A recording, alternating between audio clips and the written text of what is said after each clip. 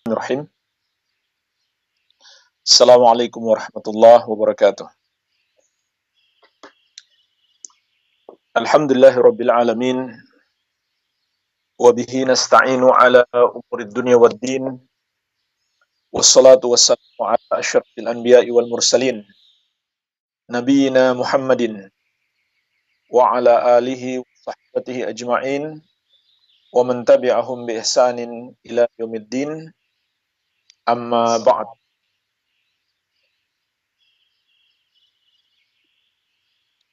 Fa ikhwani fid din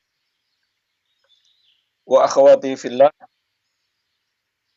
kaum muslimin wal muslimat yang saya cintai dan saya muliakan rahimani wa rahimakumullah. Semoga Allah azza wa jalla senantiasa mencurahkan rahmatnya kepada kita sekalian. Insyaallah taala kita melanjutkan pembahasan kitab salah satu usul wa adillatuha tiga landasan utama dan dalil-dalilnya yang disusun oleh Syekhul Islam Jahil Mujaddid Al-Imamul Allamah Syekh Muhammad At-Tamimi rahimahullahu taala rahmatan wasi'ah. Sebagaimana telah saya bahwa kitab salah satu usul empat risalah tiga mukaddimah dan kita baru pada mukaddimah yang pertama. Alhamdulillah pada pertemuan kemarin telah kita bahas empat kewajiban yang harus diketahui dan diamalkan oleh setiap muslim. Yang pertama adalah ilmu agama. Yang kedua adalah mengamalkannya. Yang ketiga mendakwahkannya. Yang keempat bersabar dalam menghadapi kesusahan-kesusahan. Baik kesusahan dalam ataupun mengamalkannya ataupun mendakwahkannya. Inilah jemaah sekalian empat kewajiban kita sebagai hamba Allah Azza wa Jalla. Hari ini Insya Allah taala kita akan memiliki pembahasan dalilnya. Pembahasan dalilnya. Apa dalilnya? Ini empat kewajiban kita setiap hamba. Penulis rahimahullah taala berkata, وَالدَّلِيلُ dalilu تَعَالَى Dalilnya adalah firman Allah Azza wa Jalla. Wal asr. Innal insana lafi khusr. Illa alladhina amanu wa amilu salihati wa tawasaw bil haqqi wa tawasaw bis sabr. Dalilnya adalah surat Al-Asr. Demi masa kata Allah, sesungguhnya manusia benar-benar berada dalam kerugian Kecuali orang-orang yang beriman dan beramal soleh dan saling berwasiat dengan kebenaran dan saling berwasiat dengan kesabaran. Surat Al-Asr ayat 1 sampai ke 3. Inilah dalil yang menunjukkan empat kewajiban kita. Mari kita bahas tafsir surat Al-Asr secara singkat. Perhatikanlah jemaah sekalian ayat yang mulia ini. Allah Azza wa Jalla memulai dengan sumpah. Allah bersumpah dengan salah satu makhluknya, yaitu masa atau waktu. Wal asri, demi masa atau demi waktu. Maka jemaah sekalian, di sini kita bisa memetik pelajaran bahwa waktu adalah sesuatu yang penting dalam hidup kita. Karena tidaklah Allah Azza wa Jalla bersumpah dengan menyebut makhluknya kecuali makhluk tersebut adalah sesuatu yang sangat penting. Oleh karena itu Rasulullah sallallahu alaihi wasallam juga telah mengingatkan kita akan pentingnya waktu. Dan banyaknya orang yang tertipu dengan nikmat waktu ini. Dalam hadis yang diriwayatkan Al-Bukhari, dari sahabat yang mulia Ibnu Abbas radhiyallahu taala anhuma. Rasulullah sallallahu alaihi wasallam bersabda, "Nikmatani maqdun fihi ma katsirun minan nas as-sihhatu wal farag." Ada dua nikmat yang manusia banyak terjerumus di dalamnya atau mereka tidak memanfaatkan dengan baik.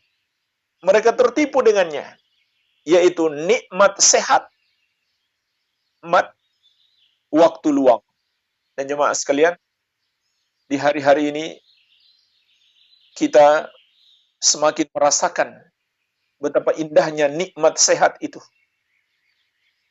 Ketika Allah menguji kita dengan wabah penyakit menular yang beredar.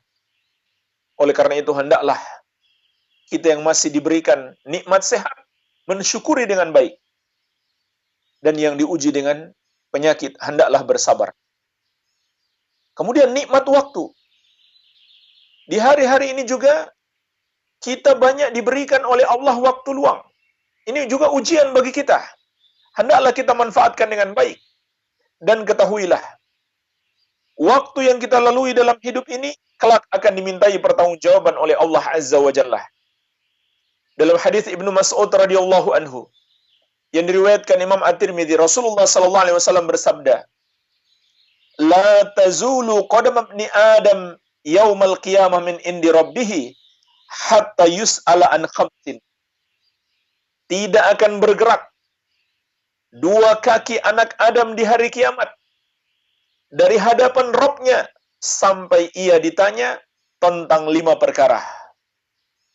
An umrihi fi ma'afna. Yang pertama, tentang umurnya pada apa ia habiskan. Wa an syababihi fi ma'ablah. Yang kedua, tentang masa mudanya. Ke mana ia pergunakan? Wa malihi min ainak tasabahu. Yang ketiga, tentang hartanya. Dari mana dia dapatkan? Wa fima anfaqah. Yang keempat, ke mana dia belanjakan hartanya tersebut. Wa madza amila fima. Yang kelima, tentang ilmunya yang telah ia ketahui, apa yang telah dia amalkan. Inilah jemaah sekalian, lima pertanyaan khusus yang Allah akan berikan kelak di hari kepada setiap hamba untuk dimintai pertanggungjawaban. Dari lima ini, dua terkait dengan waktu. Pertama, waktu keseluruhan hidup kita. Subhanallah, ditanya oleh Allah, untuk apa kita habiskan? Keseluruhan waktu hidup kita. Jemaah sekalian, kita harus banyak bertobat kepada Allah. Karena kita banyak menyanyiakan waktu untuk perbuatan yang sia-sia, bahkan untuk maksiat. Terutama di hari-hari ini. Sesungguhnya, kita sedang ditimpa ujian dan musibah maka hendaklah kita hadapi dengan taubat kepada Allah. Jangan malah kita jadikan bahan bercandaan. Subhanallah, sungguh aneh. Allah kirim, kirimkan musibah kepada kita berupa virus corona ini, kemudian kita jadikan bahan bercandaan. Seharusnya di hari-hari ini kita lebih tunduk kepada Allah. Maka Allah akan tanyakan, kelak di hari kiamat, keseluruhan hidup kita. Kemudian yang kedua, Allah tanya lagi secara khusus, waktu masa muda kita. Jadi secara umum waktu dalam hidup kita akan ditanya secara khusus tentang masa muda kita. Karena masa muda itu adalah nikmat terbesar yang Allah berikan kepada kita dari seluruh umur kita. Oleh karena itu jemaah sekalian, hendaklah kita manfaatkan sebaik-baiknya nikmat yang Allah berikan ini. Iya. Jadi Allah bersumpah dengan waktu, menunjukkan waktu itu sangat penting. Kemudian Allah nyatakan, ah, sebelumnya jemaah sekalian, perlu saya ingatkan, Allah boleh bersumpah dengan menyebut nama salah satu makhluknya. Allah bersumpah demi waktu, watini wa zaitun, demi buah tin dan demi buah zaitun, wasyamsi wal qamar demi matahari demi bulan dan seterusnya. Itu boleh bagi Allah Akan tetapi makhluk tidak boleh bersumpah kecuali dengan nama Allah saja atau sifat-sifatnya. Karena Rasulullah sallallahu alaihi wasallam telah bersabda, "Man halafa bi ghairillah faqad kafara au asyrak." Barang siapa yang bersumpah dengan menyebut selain nama Allah, maka dia telah melakukan kekafiran atau kesyirikan. Oleh karena itu jemaah sekalian, tidak boleh kita bersumpah menyebut nama makhluk, hanya boleh demi Allah Subhanahu wa taala. Iya. Kemudian perhatikanlah ayat yang mulia ini. Allah Azza wa Jalla menyebutkan di dalam surat ini, surat Al-Asr,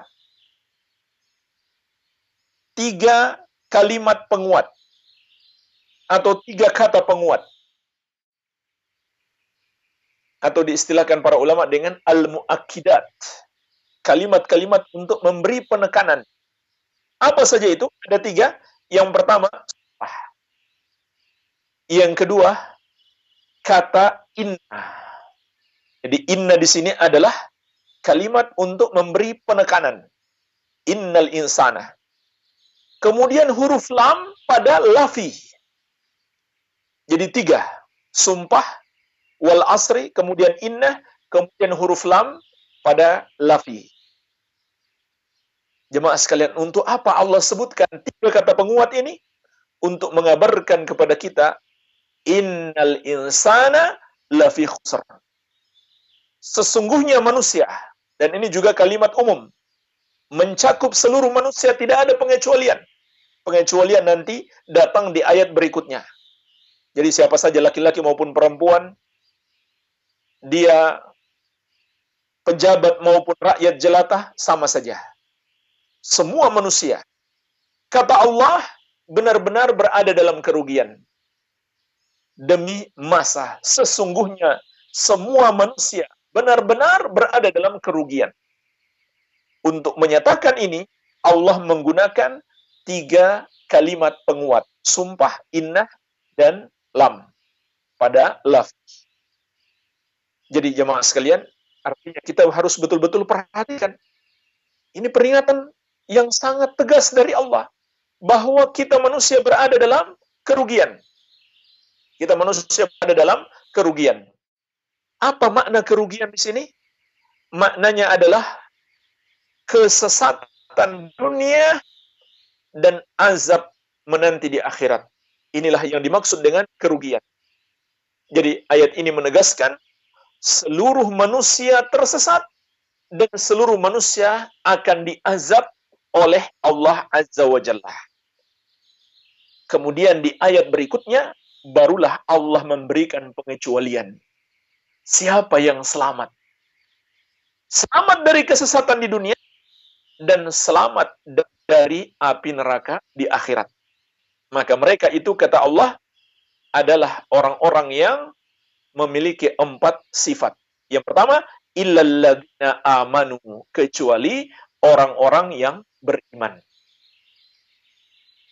Yaitu orang-orang yang beriman kepada Allah dan mengimani semua yang Allah wajibkan untuk diimani.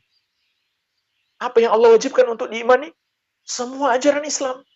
Semua yang Allah turunkan di Al-Quran dan Sunnah wajib kita imani sebagai ajaran yang Allah turunkan yang dibawa oleh Nabi kita yang mulia Nabi Muhammad wasallam.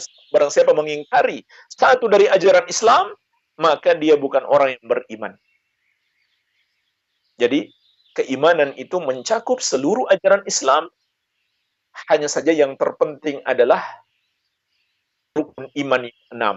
Dari enam ini tentu yang paling tinggi, yang paling penting adalah beriman kepada Allah. Yaitu yaitu meyakini Allah adalah Rob kita, sembah.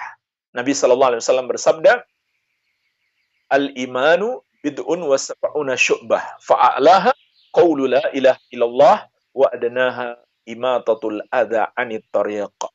Iman itu ada 70 lebih cabangnya. Yang paling tinggi adalah ucap ilaha illallah. Perhatikanlah sekalian. Ini iman yang paling tinggi. La ilaha illallah. Yang sudah ada mengeluarkan sesuatu yang mengganggu dari jalan. Itu bagian dari keimanan. agar tidak membuat orang celaka.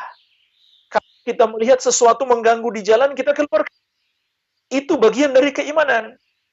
Maka jemaah sekalian, kalau itu saja bagian dari keimanan, menolong orang kesusahan karena tertular penyakit virus corona ataupun penyakit yang lainnya, tentu lebih besar lagi pahalanya. Ya. Wal haya'u syu'batun minal iman. Hal itu bagian dari keimanan. Jadi iman itu banyak cabangnya. Namun yang tertinggi adalah la ilaha illallah. Nah, jemaah sekalian, tidak mungkin seseorang itu menjadi orang yang beriman kecuali imannya dibangun di atas dasar ilmu. Inilah sisi pendek kewajiban kita yang pertama menuntut ilmu. Karena Allah mengatakan surat Al-Asr orang-orang yang selamat memiliki empat sifat. Yang pertama mereka beriman dan iman yang benar hanyalah iman yang dibangun di atas ilmu yang sahih. Sebagaimana telah kita bahas kemarin, apa itu ilmu? Al-Quran dan Sunnah sesuai pemahaman ahlu sunnati wal jamaah. Jadi, ini yang pertama, terkandung di dalamnya kewajiban menuntut ilmu. Maka ini dalil kewajiban kita yang pertama. Yang kedua, wa amilus solihat. Dan beramal soleh. Orang-orang yang akan selamat dari kesesatan. Dan azab di akhirat. Sifat mereka yang kedua adalah mereka melakukan amal soleh. Apa itu amal soleh jemaah sekalian? Disebut amal soleh apabila amalan itu sesuai petunjuk Nabi Muhammad SAW. Itulah yang disebut amal soleh.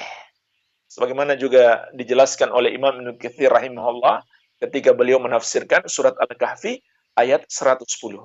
فمن كان يرجو لقاء ربه فليعمل amalan صالحا ولا يشرك بعبادة ربه أحدا. Barang siapa yang mengharapkan perjumpaan dengan Rabbnya dalam keadaan dirahmati oleh Allah kelak di hari kiamat, hendaklah dia beramal soleh dan janganlah dia mempersekutukan Allah dengan sesuatu apa. Jadi kata beliau yang dimaksud dengan amal soleh adalah amalan yang sesuai petunjuk Rasulullah Sallallahu Alaihi Wasallam. Kenapa jemaah sekalian? Karena kalau tidak sesuai petunjuk beliau, maka itu adalah amalan yang tertolak. Sebagaimana Nabi Sallallahu Alaihi Wasallam man amila amalan laisa alaihi amruna fahuwa raddun.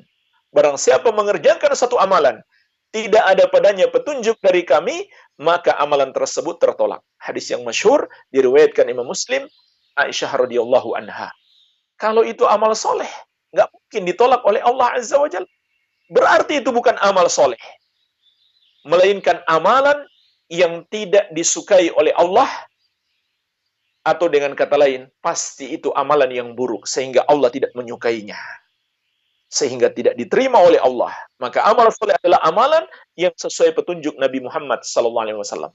Nah jemaah sekalian, kita tidak bisa beramal sesuai petunjuk Nabi SAW kecuali kita pelajari ilmunya terlebih dahulu.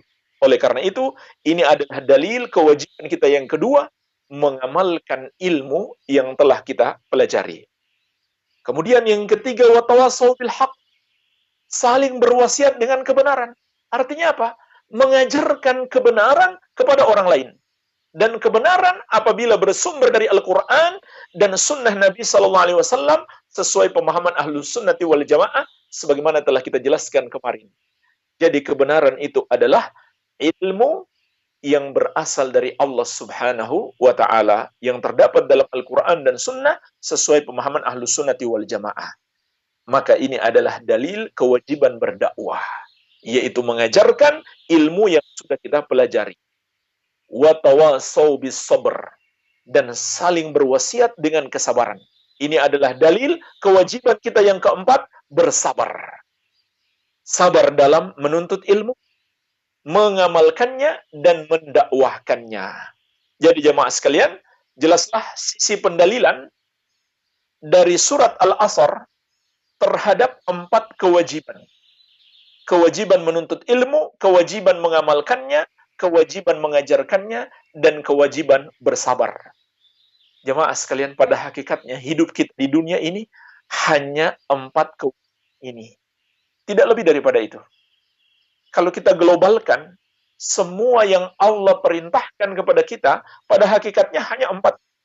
Kita belajar apa yang Allah turunkan kepada Nabi Muhammad SAW, kita pahami dengan baik, kemudian kita amalkan, kemudian kita dakwahkan, kemudian kita sabar. Sampai kapan?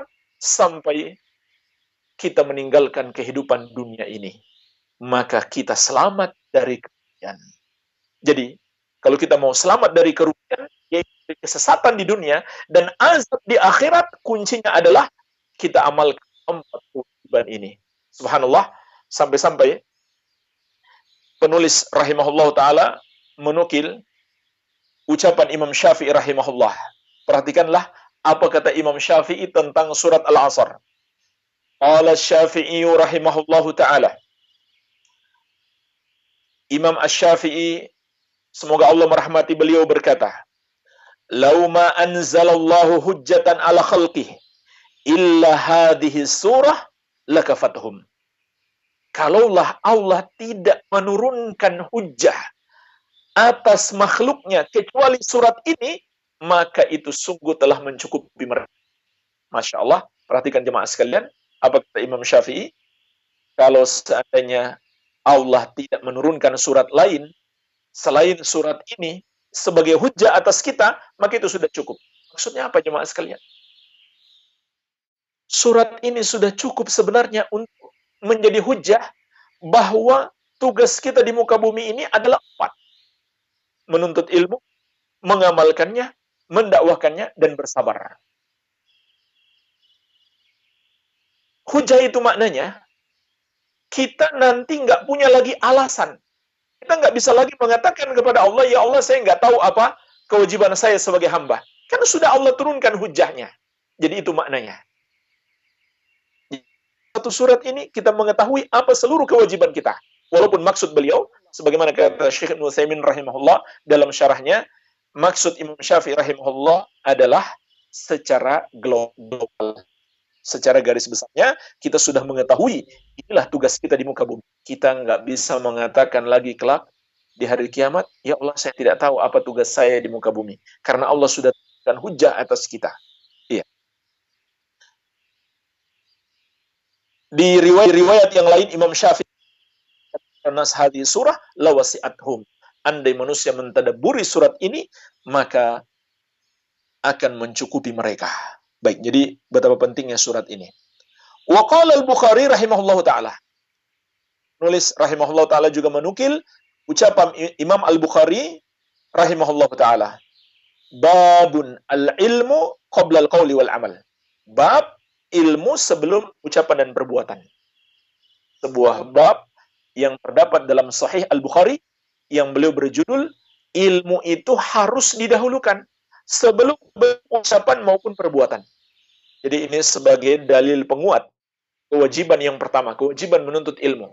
Artinya, kita nggak mungkin bisa beramal tanpa menuntut ilmu. Kalau kita mencoba untuk beramal tanpa ilmu, amalan kita akan tertolak. Wad dalilu qauluhu ta'ala. Dalilnya, ilmu itu sebelum perkataan dan perbuatan, kata Imam Al-Bukhari rahimahullah, adalah firman Allah Azza wa Jalla, fa'lam annahu la ilaha illallah wastaghfir li dzambik. Kata Allah, ketahuilah bahwasannya tidak ada yang berhak disembah kecuali Allah. Ketahuilah, berilmulah bahwasannya la ilaha illallah, tidak ada yang berhak disembah kecuali Allah dan mohon ampunlah atas dosamu.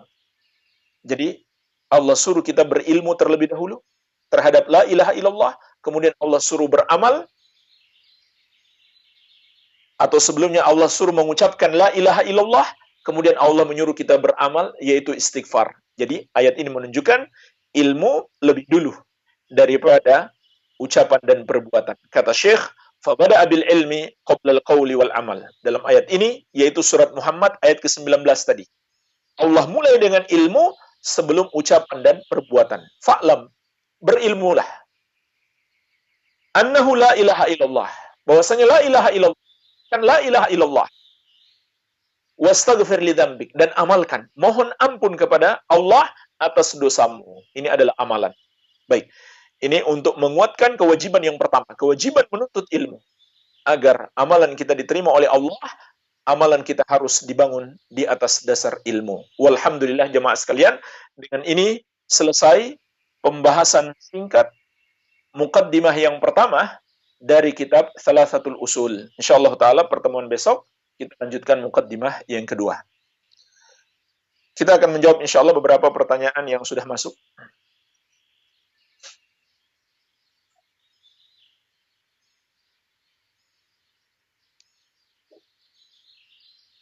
Ustadz, takut terhadap wabah corona seperti sekarang, apakah takut yang diharamkan? Bagaimana jika sampai memborong keperluan sehari-hari, sedangkan orang lain juga butuh barang-barang tersebut, seperti sembako dan hand sanitizer? Maka jemaah sekalian pertama, takut terhadap corona itu adalah takut yang sifatnya tabiat. Sama dengan takutnya kita kepada binatang buas atau kepada api. Dan takut seperti ini tidaklah diharamkan, tidaklah berdosa. Bahkan takut seperti ini ada pada para nabi dan rasul alaihi wassalam. Sebagaimana kata Allah tentang Nabi Musa alaihissalam, "Fakharaja minha khaifa yataraqqab."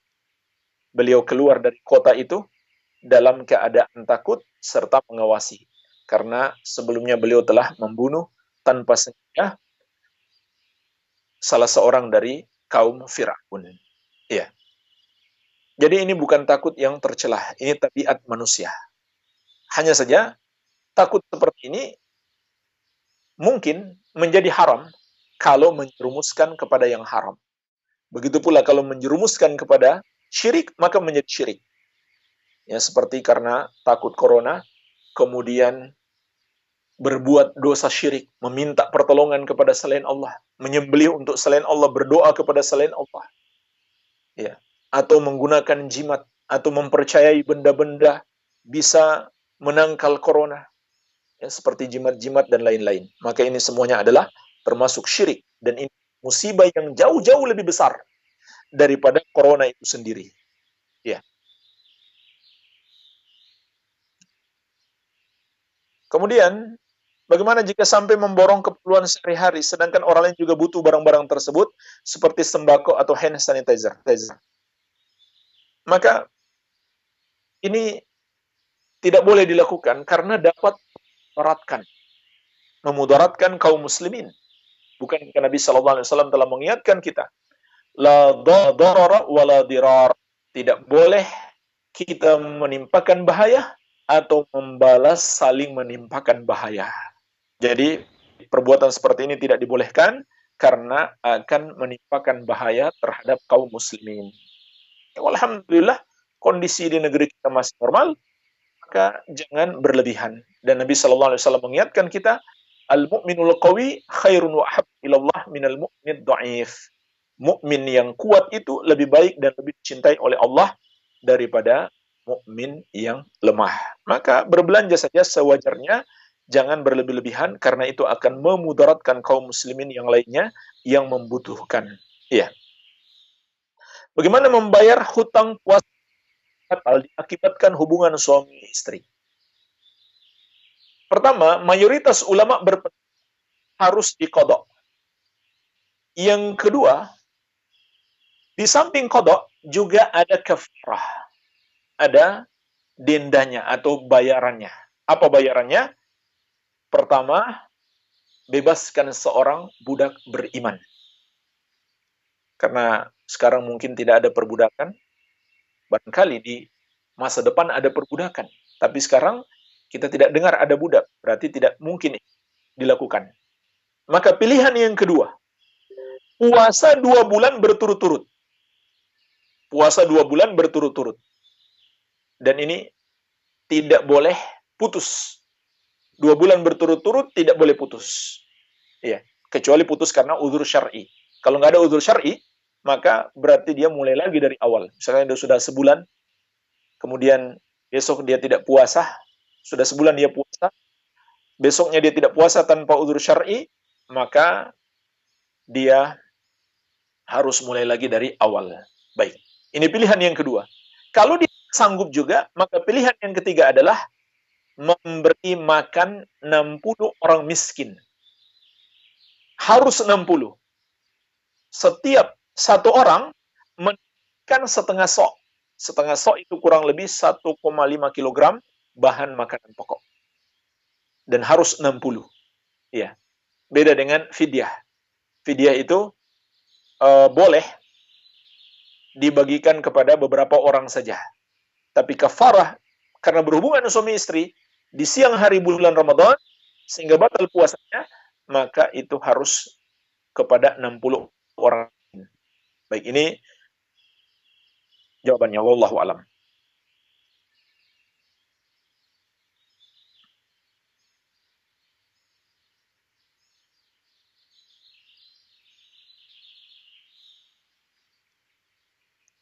Bismillah. Apakah orang yang mati syahid karena wabah terhindar dari fitnah kubur? Uh, jemaah sekalian, setahu saya yang terhindar dari fitnah kubur adalah orang yang mati syahid fi sabilillah. Jadi bukan syahid karena wabah. Ya. Namun syahid di jalan Allah Subhanahu wa taala, berperang di jalan Allah Subhanahu wa taala. Ya, sebagaimana dalam sebuah hadis yang diriwayatkan oleh Imam An-Nasa'i tentang seseorang yang bertanya kepada Rasulullah wasallam, "Ya Rasulullah, ma balul mu'minina yuftanuna fi kuburih illa syahid?" Wahai Rasulullah, kenapa orang-orang yang beriman diuji di kuburnya. Mendapatkan fitnah kubur. Kecuali yang mati syahid. Maka Nabi Shallallahu Alaihi Wasallam bersabda, kafa bibariqatis suyuf ala ra'sihi fitnah. Cukuplah, kata Nabi Shallallahu Alaihi Wasallam, kilatan pedang di atas kepalanya sebagai fitnah baginya. Jadi itu yang menggantikan fitnah kubur. Maka dari hadis ini kita pahami bahwa lolos dari fitnah kubur hanyalah orang yang mati syahid ketika berperang di jalan Allah Subhanahu wa taala. Ya. Walaupun betul orang yang meninggal karena taun sejenis wabah penyakit menular yang terjadi di masa sahabat itu mati syahid. Wa taun kata Nabi sallallahu alaihi wasallam syahadatun likulli muslim. Taun itu adalah syahadah atau mati syahid bagi setiap muslim. Ya, namun ini juga sebenarnya tidak dikiaskan kepada semua wabah penyakit menular. Yang khusus bagi taun. Ya, namun tetap saja jemaah sekalian, semua penyakit yang menimpa seorang muslim itu adalah keutamaan. Banyak sekali keutamaannya.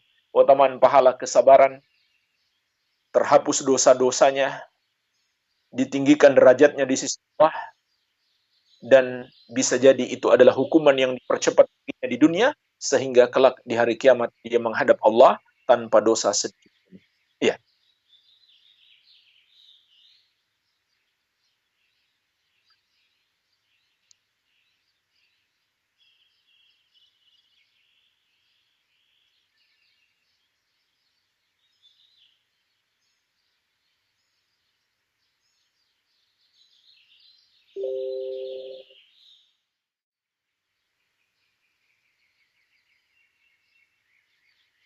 Ustadz, sudah berapa bulan hati saya datar sekali dalam hal apa pun, termasuk berdoa.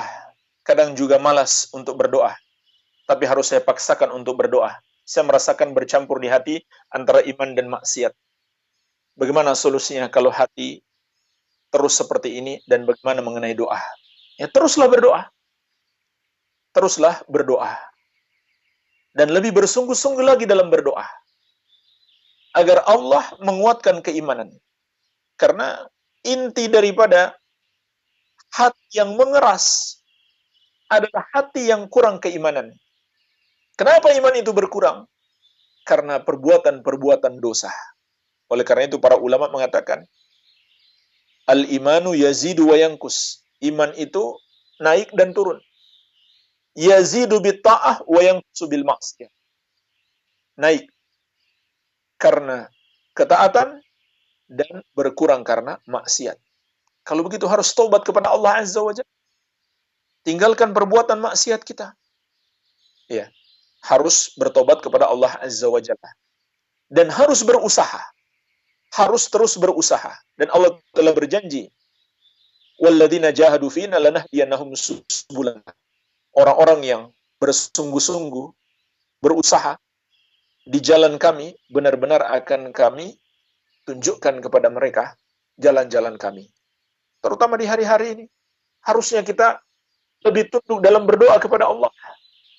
Karena ini di antara tujuan Allah timpakan musibah kepada kita. Agar hati kita lebih tunduk kepada Allah.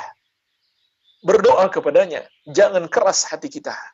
Sebagaimana kata Allah, وَلَقَدْ أَرْسَلْنَا إِلَى أُمَمِ مِنْ قَبْلِكَ فَأَخَذْنَاهُمْ بِالْبَأْسَاءِ وَالضَّرَّاءِ لَعَلَّهُمْ يَتَضَرَّعُونَ Sungguh, kami telah mengutus para rasul kepada umat-umat sebelum kau. Ketika mereka mengingkari para rasul tersebut, kata Allah, kami hukum mereka dengan menimpakan kesengsaraan, yaitu kesengsaraan yang menimpa ekonomi mereka, dan menimpakan bahaya, yaitu bahaya yang menimpa tubuh mereka penyakit-penyakit. Tujuannya apa? La'allahum yatadarra'un. Agar mereka tunduk berdoa kepada Allah Azza wa Jalla dengan penuh kekhusyukan. Jangan keras hati mereka. Iya. Mas kalian, harusnya kita lebih banyak berdoa di hari-hari ini karena ini adalah peringatan dari Allah, tanda dari Allah agar kita lebih takwa kepadanya. Iya. Dan berdoalah kepada Allah agar melembutkan hati menguatkan keimanan kita. Secara sungguh-sungguh kita berdoa kepada Allah Subhanahu wa taala. Apakah jika dalam kesulitan seperti sekarang dibolehkan untuk meminta bantuan kepada orang lain untuk memenuhi kebutuhan yang memang kita terhalang untuk mencarinya? Kalau terpaksa tidak ada cara lain, tidak mungkin berhutang dan tidak ada cara lain lagi, maka tidak mengapa insya Allah Ta'ala, karena dalam kaidah syariat, ad-daruratu tubihu al-mahdhurat. Yang darurat itu membolehkan yang terlarang. Ya. Tapi kalau masih bisa meminjam, pinjam saja. Mudah-mudahan Allah beri kelapangan kita bisa membayarnya. Atau kita bisa menjual barang-barang yang ada tanpa harus meminta-minta kepada orang lain, maka itu lebih afdol ya lebih afdol kita kalau pasti punya barang kita jual daripada harus meminta-minta kepada orang lain. Nabi Shallallahu Alaihi Wasallam pernah mengatakan, la yahtatiba ahadukum huzmatan ala dhahri khairu min an yaslan nas atau au manahu. Seseorang memikul kayu bakar, lalu dengan itu dia bisa makan, maka itu lebih baik baginya daripada dia minta-minta kepada orang, apakah orang memberi atau tidak. Jadi kalau kita masih punya kemampuan, ada barang-barang kita bisa dijual, untuk kita bisa memenuhi kebutuhan kita, itu lebih afdal, itu lebih baik. Kecuali kalau sudah terpaksa, maka tidak mengapa insya Allah Ta'ala. Iya, karena dalam hadis yang lain bisa selalu mengatakan, Sa'alan nas Siapa yang minta-minta kepada manusia untuk memperbanyak hartanya? Fa inna yas'alu jamrah. Pada hakikatnya yang diminta adalah bara api. Fal yastaksir stakil. Maka silahkan dia mau bara apinya banyak atau sedikit. Artinya diancam dia oleh Nabi Shallallahu Alaihi Wasallam. Bukan dipersilahkan tapi diancam. Iya. Jadi di situ dikatakan dia meminta-minta untuk memperbanyak hartanya. Oleh karena itu kalau meminta karena darurat, karena butuh, tidak ada sumber lain kecuali harus dengan meminta, maka semoga tidak mengapa insya Allah taala. Ya.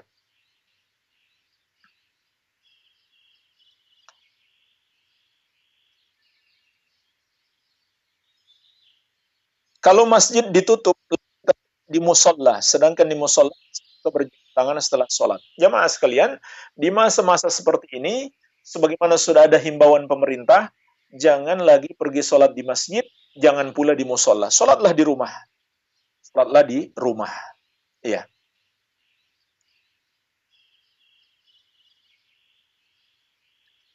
Berkaitan dengan anjuran untuk memperbanyak puasa di bulan Syakban, apakah cukup dengan puasa Senin Kamis dan Ayyamul Bid saja, ataukah ada puasa sunnah yang lain? Dianjurkan untuk memperbanyak puasa Syakban atau puasa di bulan Syakban. Itu bisa puasa setiap hari, sebulan penuh pun boleh, tidak masalah. Sebulan penuh juga boleh tidak masalah. Atau kebanyakannya. Ya kalau hanya hanya Senin Kamis, dan ayamul bid juga tidak masalah. Tapi kalau kita mau perbanyak, itu lebih baik. Karena di dalam hadis dikatakan oleh Ummul Mukminin Aisyah radhiyallahu anha, "Kana sallallahu alaihi wasallam yasumu Sya'ban kullahu." Nabi sallallahu alaihi wasallam dahulu berpuasa Sya'ban sebulan penuh. Ya. Dalam hadis yang lain, "Kana yasumu Sya'ban kullahu, kana yasumu Sya'ban illa qalilah." Nabi Sallallahu Alaihi Wasallam pernah berpuasa Syakban sebulan penuh, pernah pula beliau berpuasa mayoritasnya atau kebanyakan dari bulan Syakban. Ya. Jadi terkadang jemaah sekalian, Nabi Sallallahu Alaihi Wasallam puasa Syakban sebulan penuh, dan terkadang beliau berpuasa kebanyakan hari-harinya. Iya, jadi ini yang disunahkan. Kalau kita mau melakukan semampu kita saja tidak masalah. Senin Kamis, Ayamul Bid, dan lain-lain, itu tidak masalah. Baik. Lalu bagaimana dengan hadis? In tasafa Sya'ban fala Kalau masuk pertengahan bulan Sya'ban, janganlah kalian berpuasa. Makanya maaf sekalian, hadis ini pertama dikhilafkan para ulama. Sahih atau tidak.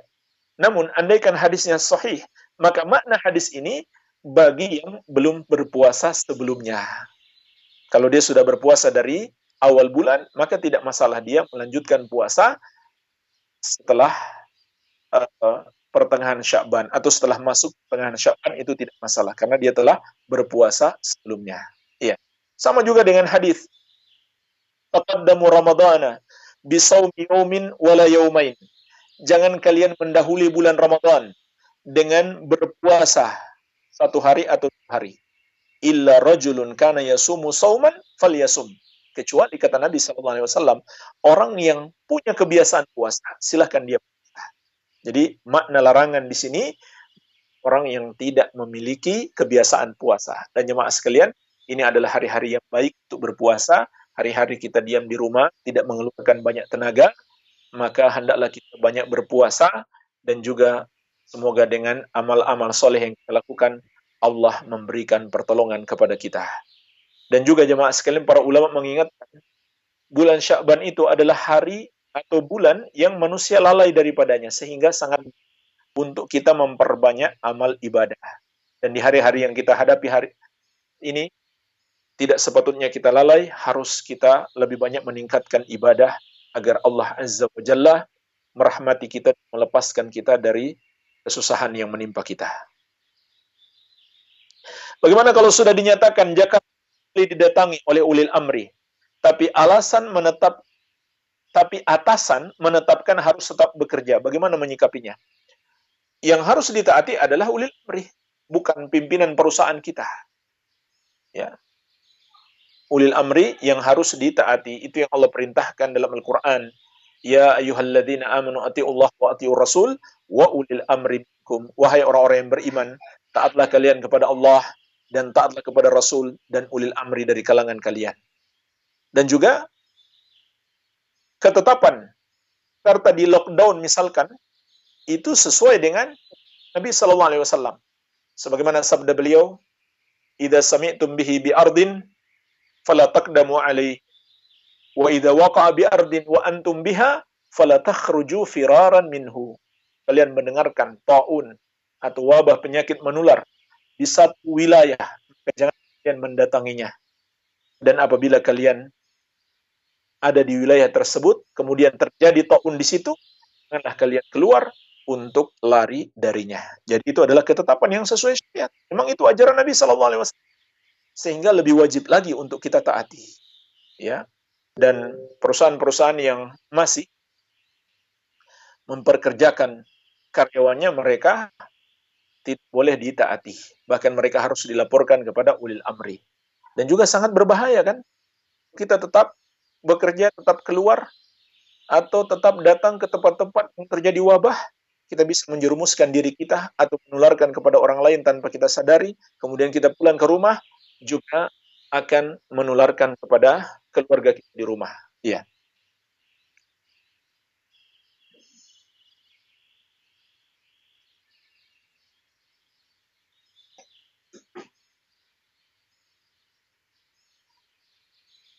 Bagaimana caranya membuat tetap tenang, tidak takut akan berkurangnya rezeki, dan tidak pula melupakan kepedulian kita terhadap sesama? Seperti profesi yang harus bekerja di jalan ojek online atau pramusaji di restoran yang akan mengurangi pendapatan mereka. Maka yakinlah, rezeki kita telah dijamin oleh Allah. 50 ribu tahun sebelum langit dan bumi diciptakan, Allah telah menulis rezeki kita. Di umur 4 bulan di perut ibu kita, Allah tulis lagi ketetapan rezeki kita. Jadi ini yang harus dikuatkan. Rezeki kita tidak akan berkurang, tidak akan bertambah. Iya. Kemudian ketika kita membantu orang yang membutuhkan, itu adalah salah satu pintu rezeki. Walaupun rezeki sudah ditetapkan oleh Allah, tapi Allah juga menyuruh kita berusaha. Di antara usaha adalah ya benar Adam, anfik unfik alaik. Dalam hadis qudsi Allah mengatakan, wahai anak Adam, berinfaklah kalian, bersedekahlah kalian, maka aku akan berinfak kepada kalian. Jadi jemaah sekalian, insya Allah ketika kita membantu keluarga kita, tetangga kita, dan semua orang yang membutuhkan, maka justru itu akan menjadi sebab Allah Azza wa Jalla melimpahkan rezeki kepada kita. Mungkin ini saja yang bisa kita bahas di kesempatan ini yang belum terjawab, insya Allah Ta'ala kita akan jawab di pertemuan besok hari. Semoga Allah memberikan manfaat apa yang telah kita pelajari, dan semoga Allah mengajarkan yang belum kita pelajari. Wabillahi taufik. Subhanakallahumma bihamdik. Asyhadu an la ilaha illa anta astaghfiruka ilaik. Wa sallallahu ala nabiyina Muhammadin wa sallam. Walhamdulillahi alamin. Wassalamualaikum warahmatullahi wabarakatuh.